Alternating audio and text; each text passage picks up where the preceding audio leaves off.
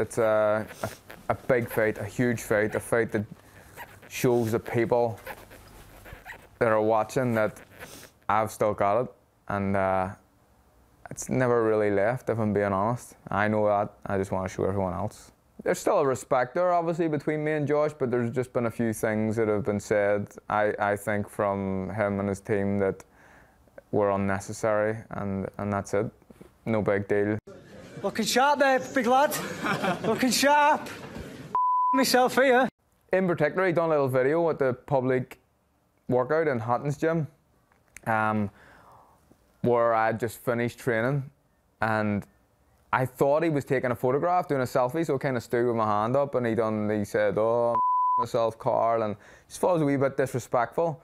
I remember getting out of the ring, thinking, "Who do you think he is?" I wish I'd have hit him a slap, but um, soon, you know, an hour later, I've, I'd forgotten about it. Yeah, that's that's it really. That's it. Well, there's a few other things, but I'll keep them to myself. He's thinking I'm on the slide, and they keep talking about timing. You know, they got Lee Selby, and they'll openly say it. I got Lee Selby at the right time. So what is he saying? He wouldn't have fought him a year and a half ago when the fight was being talked about. So he got him when he was completely weight drained rather than the shape he was in a year and a half ago. And they're saying that about me now. It's about timing, so they think I'm over the hill. So he's starting to realise that I think as the fight gets a bit closer, that I'm not. And he'd certainly know all about it on the night. In the first round, he, he'll realise I'm not over the hill. They're saying these things to themselves because they want to believe it. I don't know if they actually believe it though. And I'm going to introduce him to world class boxing. I'm going to introduce him. He's never seen it before. Carl's flying. I mean, he's been he's been at the gym 16 months now, and by far the best I've seen him. By far, he's really got the bit between his teeth. Um, he feels like he's got something to prove to people. Uh, his opportunity to win a world title back again. I've got a special fight in Carl Frampton. I think Josh Warrington is a very good fighter, and by no stretch of the imagination are we overlooking him. Um, far from it. We, we, we understand it's going to be a, a, a difficult fight, but for, as far as he says he's living off past glories, you know, that's I, I believe that's him trying to gain confidence in, in from himself. Uh, he, he knows we're not, we're not overlooking him. He knows how serious we're taking it. Um, I think he's hoping that Carl's not as good as he was, but that's far from the truth. The way he's been sparring, the way he's been gone, gone through his work. The main thing for me for this fight was Carl's got to be Carl, but he's got to be able to do it at a gear higher than he usually does because of, of Josh's work rate, and, and he's done that and more. So the, the vision I had in my head at the start of camp of where I wanted him to be, he's, he's surpassed that expectation. Carl Frampton, in the form that he's in at the minute, he's capable of getting any featherweight in the world out of there, including Josh. We'll just be at a flag of black cab outside here, do you think? Bit of, bit of an open workout, get the fans sort of coming around, get a few pictures and stuff. Well, obviously we've got Martin, Martin Murray's on the bill. Um, I'm looking forward to Heffron, the Heffron fight. Uh, that's going to be a good scrap. But this, uh, the, the bill's stacked with, with good, entertaining fights. It's actually better and not as stressful fight week when it's not in Belfast. Yeah. But more laid back, relaxed, chilled out. I'm starting to know where I'm going now. Like I walk around the city centre and stuff, and started saying sound, mate, and all that. Yeah. Sound, sound. I always said sound. That wasn't a mag thing. I was always sound. We've had some great sparring. One, one kid in particular who's, who's on GB, big strong lightweight as well, so it's, it's been physically tough for Carl. But by the time the sparring was finished, he was absolutely on fire. Been by far the best camp he's had, and uh, the form he's in matches the occasion yeah. to uh, to put in the performance I believe he can do. So that's real fun. Real fun. I was just about to say. What's it like in there for grub for I've after the weigh-in? I've never been there, mate. I was in it with Freddie Flintoff when he had that, that fight. Fight, was it? I remember give, shall, shall, shall I give Rio a ring now and see if he's come slot I'll send him a message on Twitter. Doesn't follow me, but. oh, Big Freddie followed me the other day, actually. On Twitter? Yeah. He still hasn't followed me. He used to train with us at Oliver's, and um, I didn't even know he was a cricketer. Sorry, I knew he was a cricketer, but I didn't realise how sort of big a name he is because I don't watch cricket. And um, and I'm like giving him loads, like, go on, you big daft jump over the bar and all that. And then, uh, and then one Sunday morning, I opened the paper and he was he was on the front of the front page of the News of the World, and I was like, that's that guy who comes to the gym. who's your biggest follower? Frank Rooney and uh, Donald Trump as well. Donald Trump follower. A Barack Obama follows A Barack Obama follows everybody. Does Donald Trump?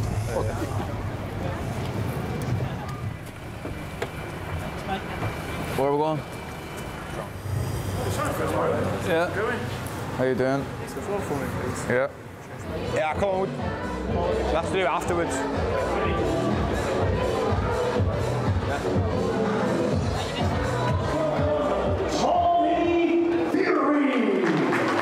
It's a great show. Look at the great fights we got in the undercard. I mean, they got my shirt off. I'm doing some Padre Ricciatin. What more can I ask at 19 year old? So it's all come true now. Got good support, really good support. Hopefully, listen, he's got a quarter of the talent of his uh, brother, then we're going to be in for a good ride with him. I'm telling you, this is what every fighter dreams of. I ain't gonna let it slip. And we've got Nathan Gorman, who's now in with a change of opponent. Literally a big step up, you know, uh, six foot seven and a half, giant. He's been in there with some good opposition, you know, he went the distance with uh, Joseph Parker. But, you know, I'm ready. I've had 12 weeks preparation for it, so there's no excuses really. If he stops the guy, that will be a statement. Mark Heffron and Liam Williams. What do you need to say about that one? I mean, that is a quality fight. You know, Mark now is uh, 20 and 0. He's a good puncher. I like him. I think he's an excellent fighter. Against Liam Williams, who had two great battles with Liam Smith. Liam's not not sort of afraid of stepping up, so he's stepping up. So we got a good fight there. We're both two good fighters. I've just I've looked at his tra- train, how I always train. I always put 100% in and never cut no corners. Once I beat Liam on the 22nd, yeah, I'm looking to move on to big things, yeah. You've got Martin Murray, who's done extremely well the last year. I want to fight the best. I'm not saying he's the best, but he's a former world champion and he's a dangerous fighter. And a good win on Saturday puts him on the line for a world title shot next year. He's second on the best, the best Martin Murray, and I've got no excuse. It comes Saturday night. My weight's bang on, sparring's been bang on, training's been bang on, and I'm in fight week feeling like this. So I'm buzzing. I plan on going in there, making a statement, and getting the job done, relaxing over Christmas, and then get kicking on next year. Know, fighting the former champion Hassan N'Dam, that's a good fight. That's a 50-50 fight. But the winner of that will be number one and become the mandatory. We've got uh, Michael Collins, uh, you know, fighting Cunningham, so that's going to be a decent little scrap as well. Michael's uh, he's had a good career up to as yet, and he's certainly had a good year, so he'll want to finish on a bang as well. Let's say how it is. This is a proper fight for the fans. This is a boxing triple A list fight. That's what it is. It's a fight that we're going to savour. But more important again, guys at the top of their game. There has to be a loser. He says, who knows, it may be a draw. And it may be, which I, I really believe it's going to be a great fight that deserves an immediate rematch. Who knows? I can't wait for Saturday. Honestly, I can't wait to go, you know. Now it's here. I know I'm fit, I know I'm sharp. I can't wait to just get in there and, and this is what we live for. When we got into December, knowing that in three weeks I'd be, I'll be stood face to face with Carl, training blows, and uh, I can't wait to go, defend that title and get fat for Christmas. You know, I'm relaxed. I'm relaxed going in the fight week. Probably in the change rooms when I get hyped up when I'm leaving for the venue. I'm looking forward to a good fight. Just just the way things have been going in camp, I feel like I'm going to do a number on this guy. Uh, I feel I'm going to win convincingly. I'm going to show people that I'm back to my best. Not that I never was, but there's, there's doubters. But I want to show them that I'm going to be a world champion again and I can unify this division as well after. I'm fully confident that I'm going to win this fight. If you've got to say there's four top guys in the world at their weight, they're two of them. And they're fighting each other. So what we're up against? We're up against Dillian Whyte, who's already been done, knocked out. And you've got Derek Chisora in eight meaningful fights on his record, has lost seven of them. And the, the only reason he's in this fight is because of a win over Takam uh, when he was losing that fight and pulled out the lottery punch. That is why that fight's on. And look at the undercard that we got. Quality all around. And What's their undercard? David Price against Tim Little. So it's a no-brainer, isn't it? The truth of the matter is, for boxing, this is the event that matters.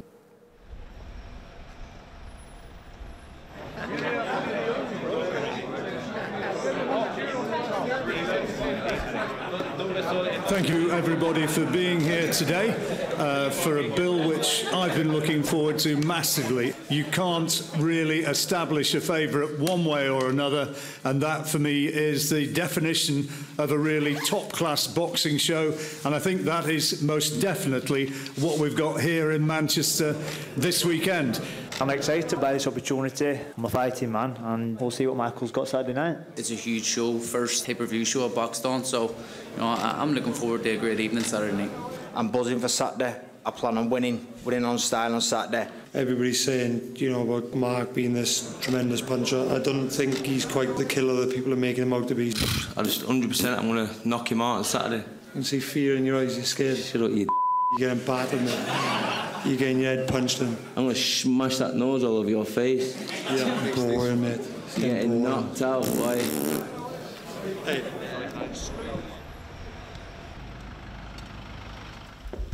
How are we doing? You okay? Yeah, good. You okay? Trish, brought up to speed, mate. Happy with that, right? You're ready to roll? Yeah, whenever you're ready, buddy. Okay.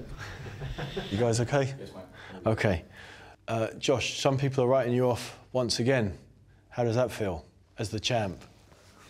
Same old, isn't it? I keep hearing it, the underdog and this and other, but if anything, it motivates me. I'm, I, I don't get upset by it. I feel invincible. So, you know, f- I'm- I feel like I'm getting the peak of my career as well.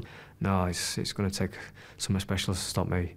Who's got most on the line? Is it your career on the line against his title? Yeah, well, it's, it's both, isn't it? Um, obviously, I'm not contemplating retirement. I'm not contemplating getting beat here. I'm fully focused on winning this fight. But yeah, that's you've said it correctly there. Potentially my career against his belt. Um, but I'm fully focused on this fight, and I'm fully confident that I'm going to win it. I guess there'll be always those out there who will doubt me. There'll probably be those out there who'll say, "Oh, you always saying now that Carl's going to splatter my head all over canvas." They'll they'll turn around and say, "Oh, well, Carl finished a few years ago, you know, after, after I've done business on Saturday." But you know, all I can do is go in there, keep doing what I'm doing, keep winning. And I made my family proud, made my city proud, and uh, made those who, who support me proud, and that's the main thing. I think there is respect between me and Josh, but it's a fight, and uh, I believe this is going to be a tough fight. It will be very hard to want it more than I want this title right now. The fire is burning ever brightly in me, my stomach. I'm, I'm so hungry and I can't wait to get in there. People said, why didn't you have a steady defence? No, man, I'm not about that. I want to have the big fights. I believe I'm, I'm capable of beating any featherweight, and I want to fight the best. I think he'd be confident, but he says he's never been hurt in any fight um, ever in his life. Well, that's got to be down to the opposition he's fighting. Um, I'll openly admit that I've been hurt in fights, but it's about you know gritting down the teeth and, and digging in. Um, I know he's lying when he says he hasn't been hurt because he was visibly shaken by Kiko Martinez. So anyone can be hurt in this game, um, and uh, I think he's made for me. And he's a good fighter, but I think he's made for me, and his style will play into my hands. People assume that when you fight Frampton, distance isn't going to be an issue in the sense that you're going to be closing closing it down all night. Obviously, as a, as a taller fighter, you normally want to keep normally keep the range of the fighter. But probably say people turn around and say that I'm just a come forward pressure fighter, and that's all I've got in my in my armory. But obviously, there'll be times when I want to dictate the distance, and times when I will just be on his chest. But we'll play it on Saturday. Josh has something in him that he won't. He'll want to stay in there to the end, and he'll keep going. So uh, it, it does have all the ingredients for a good fight, and they think personally that I'm, I'm done, or over the hill, or don't have the hunger that, that I once did, and that's where they're making a huge mistake. I don't think you're over. I've been preparing for you. Well, I've seen things in the media that kind of suggest that, and when this fight is getting sticky, if it may turn into a dog fight, and that's when they'll see and they'll realise that I'm not over the hill. You know, sticking the fingers up to them and saying there's plenty left to go. When it gets tough in the fight, which it may do, he'll start to question himself and think, I thought Frampton's meant to be over the hill, I thought Frampton's meant to die after the second half of the fight, and when it's not happening, then we'll see how he reacts. Both fighters want it. You know, with all that's been said with, with Carl and his comments, I'd know that he wants to be back at that level. He ain't gonna go over there and just like roll over, you know. So he's, he's gonna try give everything for that for that 12 round duration. So so am I, and uh, that has to equal uh, an exciting fight. Who's going to have the most fans there on the night? I think if you're not from Leeds, you're supporting me, and uh, I'm talking about the Mancs, I'm talking about the Scousers and people from from anywhere. Um, and obviously, I, I, bring a lot of support from Belfast and, and all of Ireland over with me too. So um, we'll see on the night. I think it could be pretty split. I, I know I've done all right with, it, with my, my own personal tickets and. Um, those boys always make plenty of noise. That, you know, it might be a few thousand, but it feels like in ten thousand now with just them alone. And I do believe that I, I may have won over um, a few neutrals. There Might be a few you know, Irish fans who were, were supporting us as well. So it's going to be going in there, just enjoying the whole occasion. And uh, I think the more relaxed you are, you know, the, the better for. Don't get me wrong, it's nice to have a bit of, bit of nerves. But yeah, I think confidence is, is, is a massive a massive key, and you do get to a stage where you think I could beat anybody. I'm going into this fight relaxed, but but full of full of confidence. And, and a good friend of mine, Liam Baggett from back home, former Crusaders football player, and he says in their dressing room they had a motto on the wall: total respect but no fear, and that's that's what I'm going into this fight with. Now, Mark Heffron against Liam Williams absolutely has all the makings. This one. I know I can win a world title. I'm a lot more confident in my ability. I know I'm going to win Saturday, and it's going to be a good one. I'm the better all-round fighter, and um, I just 100% I'm going to knock him out on Saturday. But you ain't going to mark we'll my words. Saturday. We'll see. Mark my words. I think it got to him. Um, I think it already got to him before the press conference. To be honest, with you. I think he's been a bit rattled. It's all well and good being able to punch, but you need to, you need to have that bit more all round. Liam's um, a very good counter puncher. Um, that's probably his his, his best aspect. Uh, he's just a, a good counter puncher. Yeah. That's, um, I feel I'm the bigger, stronger fighter. So if he wants to have a fight, I'm the bigger, stronger. He thinks he's invincible. He's going to try and walk through me, and I've obviously got other plans. And he's going to have a shock. Let me tell you. Everybody sees him as you know this killer machine who's unbeaten in 21 fights with was 17 KOs or whatever. On paper, that looks very impressive. It does, but what good is it building up that kind of record when you're fighting nobodies.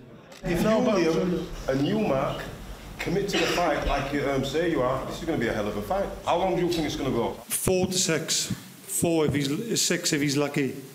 He's a massive bully and he's getting beat. Mm, you can see fear in him. That's exactly what I'm seeing in Mark. There's no fear whatsoever. He knows me. full well. How can you fear me? Done. Never, never in a million years. Some people have your fight with Liam pegged to be fight of the year. Um, yeah, um, well, for as long, as long as it lasts, um, it's going to be the fight of the year. Yeah, my prediction is I'm going to knock him out. I personally think it's going to, it's going to be a shootout, but I do respect him as a fighter and I respect his power. Yeah. I was looking for his box record. Um, other than Liam Smith, who's he fought? They're all tomatoes. Uh, everyone that he's boxed are tomatoes. Everyone that he's boxed where he's knocked him out in 3-4, I'll knock him out in a round.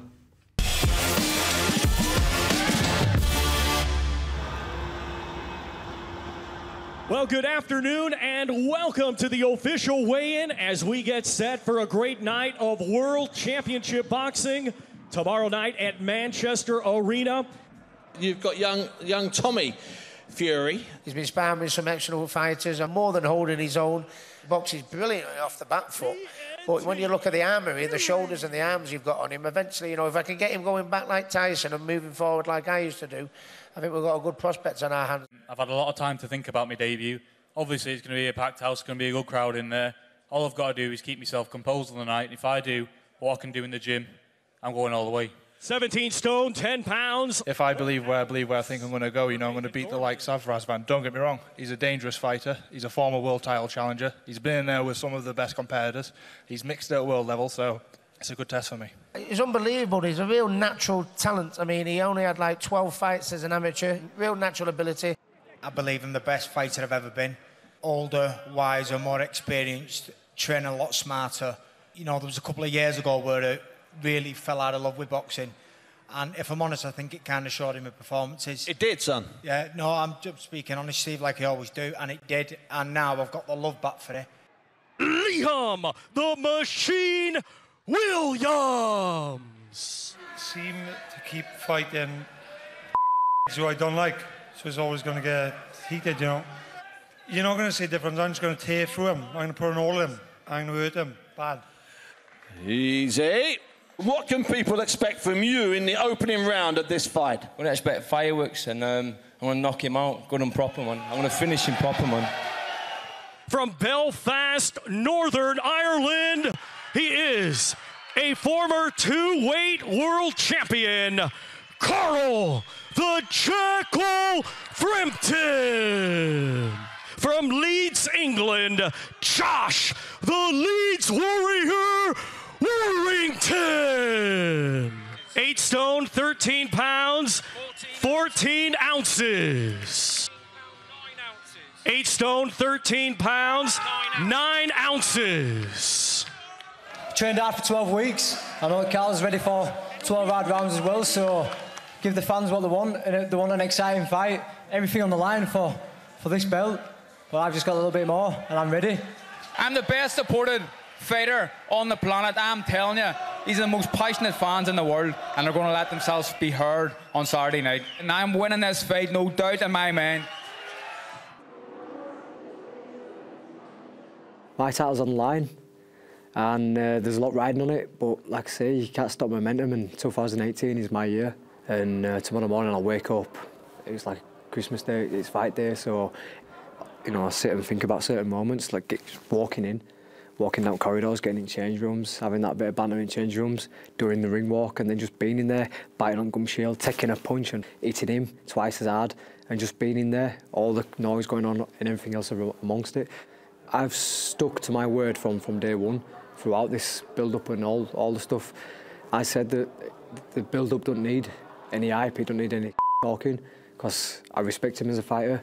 Um, and when we come face to face, I just said to him, are you ready for the 12 rounds, Carl? And he said, I'm ready to go. And it was just a couple of words like that exchanged. I wanted to look him in the eye and know that he's ready because I'm, I don't know excuses after when I beat him. I want to know that I'm fighting the very best Carl Frampton because I'm ready to go for anything tomorrow night. So um, I was just letting him know that he's not in there to just, you know, walk over. He's in there for a tough night. There's only one way it's ending. And still, and still I've been saying it for, like, well, more or less since the fight's been announced. And uh, I've seen it, I've dreamt it, you know, many a time. So um, it's happening.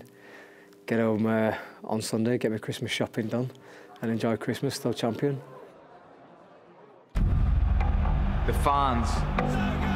Their belief is rooted deep. Deep in the soul of the city. Garcia, Donaire, Jackson, all down. Lee Selby, goodbye.